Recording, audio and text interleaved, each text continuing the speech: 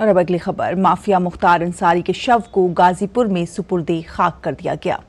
सुरक्षा के मद्देनजर पर्याप्त संख्या में पुलिस बल और अर्धसैनिक बल की तैनाती की गई है। गुरुवार रात मुख्तार अंसारी की बांदा मेडिकल कॉलेज में हृदय गति रुकने से मौत हो गई थी।